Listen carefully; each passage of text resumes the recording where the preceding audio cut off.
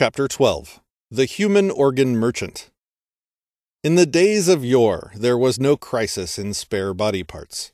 Organ transplants were an utter impossibility, the stuff of science fiction. Only Dr. Frankenstein and his literary ilk had any need for live organs. But nowadays, thanks to the magnificent discoveries and new techniques of modern medicine, these possibilities are upon us. At present, it is possible to transplant hearts, kidneys, livers, eyes, corneas, blood, bone marrow, and many other body parts.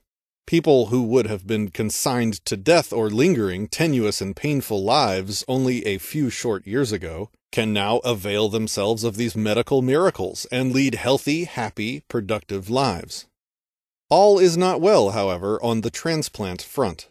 Instead of being the occasion for unrelieved rejoicing, these new breakthroughs have brought in their train a whole host of problems. First of all, there is a shortage of body organs suitable for transplant. Disease makes some of what is available unusable, along with incompatibility because of incompatible recipient blood types. This has led to a set of problems that has strained what passes for medical ethics in this country to the breaking point. For, given the limited supply of body parts, our doctors have had to pick and choose, on no criteria other than their own arbitrary whims, which of the many needy recipients shall have this life giving aid, and which of them shall be denied. To this end, they place smokers, old people, and others less likely to benefit most from these operations at the end of the queue. In no other commercial setting does anything like this occur. For example, the purveyors of groceries, automobiles, and books do not make such invidious distinctions between those more or less likely to gain advantage from their products. The difficulty here is that our legal economic system has not kept up with advancing medical technology. The law has prohibited people from using their property rights we each have in our own bodies. Specifically, it has banned trade, or a marketplace, in blood, bone marrow, and other live spare body parts. I maintain that deregulation of this market is the solution to the transplant problem. But before I explain how free enterprise would work in this connection, let me lay a few fears to rest. Yes, it is gory, disgusting, and very uncomfortable to discuss allowing profit incentives to work in this field. The very idea involves images of grave robbers, Frankenstein monsters, and gangs of organ thieves stealing people's hearts, livers, and kidneys in the manner described in several novels by Robin Cook. It seems cruel and unfeeling to discuss the market for used body parts in much the same manner we might use to describe the used car market. But this is only because, in our present society, while we can appreciate the miracles of modern medicine without necessarily comprehending them, we have such a poor understanding of the miracles of the marketplace that we cannot even begin to appreciate them. So let us sit back, relax, and calmly and dispassionately consider this idea on its own merits, all preconceptions and biases to one side. Let our only criteria be not our prejudice, unjustified in this case, but our assessment of whether this idea will really increase the number of donors, save lives, and free doctors from the onerous decision of picking which needy people will be saved and which consigned to a lingering and painful death. As any first year student in economics can tell you, whenever a good is in short supply, its price is too low. And the case of human organs is no exception. On the contrary, it is a paradigm case of this phenomenon.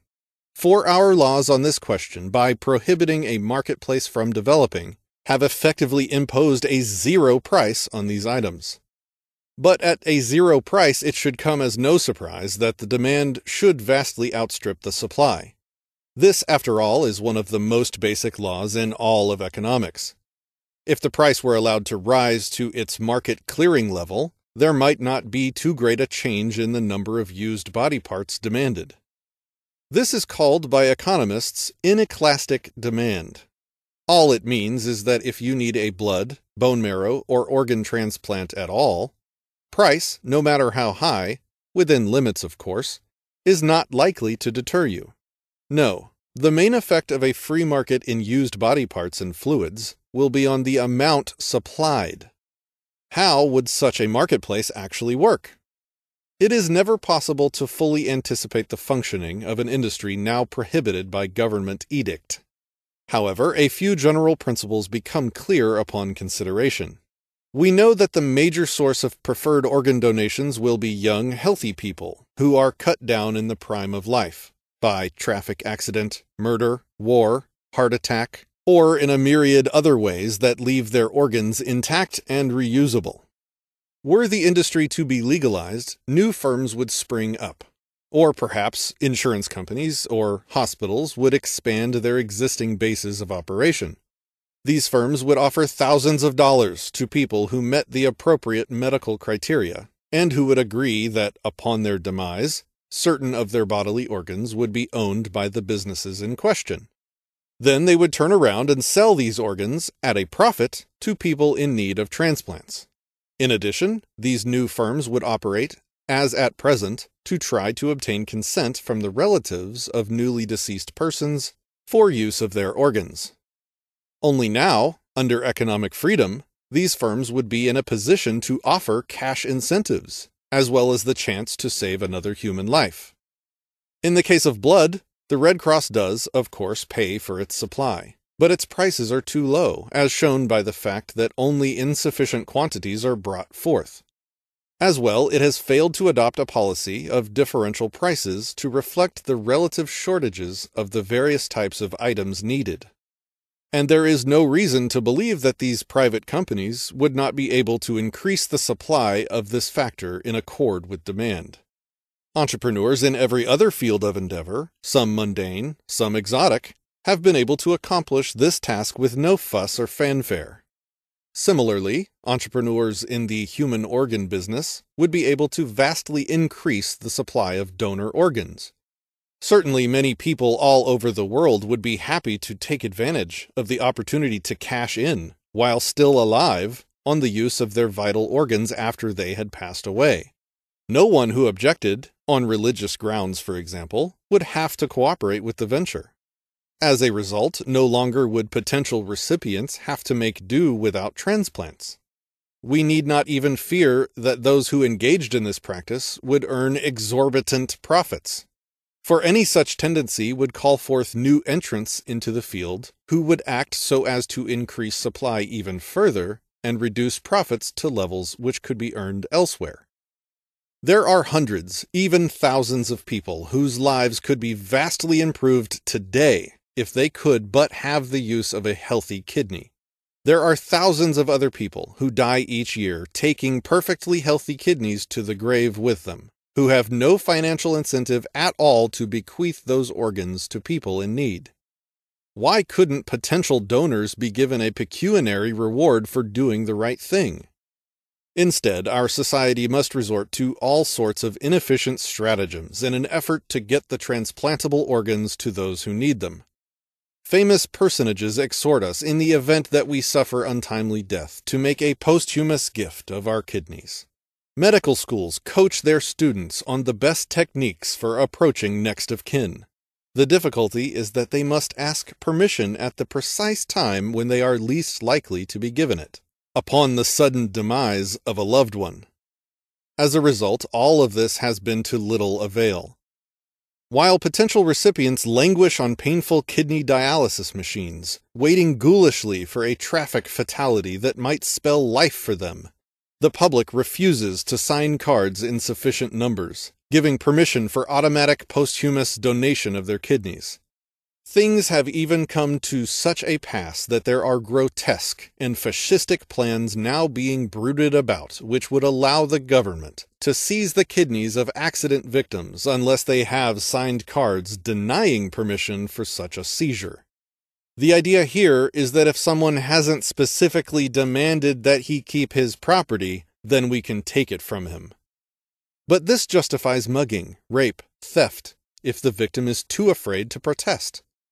When the state employs this vicious doctrine, there is also the implicit threat that government will turn against anyone who signs off from this list of willing donors.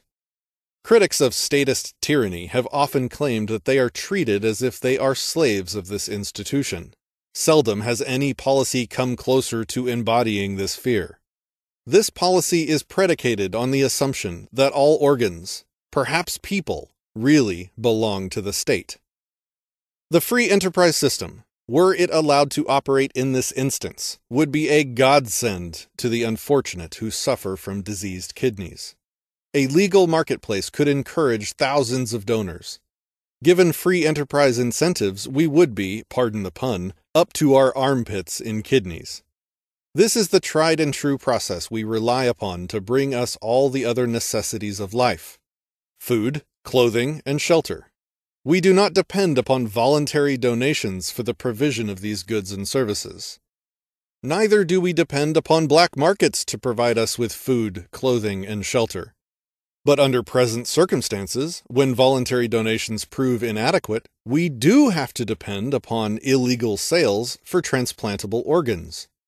According to some estimates, the black market value of a transplantable kidney is between $50,000 and $100,000, worth much more than its weight in gold. The question is, is such an underground body parts supplier a benefit or a detriment? One argument for the latter view is that the black marketeer, if successful, will tend to undermine respect for law and order. He is, after all, thumbing his nose at the duly constituted authorities, who have so far remained adamant in declaring such ghoulish sales and purchases illegal.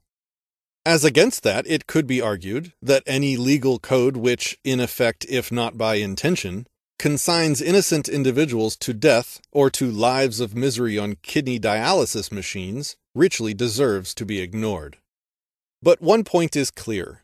Our black market ghoul benefits organ donors by offering them financial remuneration as well as the satisfaction of knowing that the organs they may donate upon their demise will enable others to live. By doing this, he will also, as we have seen, increase the number of organs available, and this will be of inestimable benefit to those who might otherwise have been forced to go without. Let's allow free enterprise to work in the field of blood, bone marrow, and transplantable organs, and save us all a lot of pain, sorrow, suffering, and tragedy. One objection to the foregoing is that if we allowed market prices for these commodities, organ thieves would arise. They would steal into our bedrooms in the dead of night and seize our livers, lungs, hearts, etc.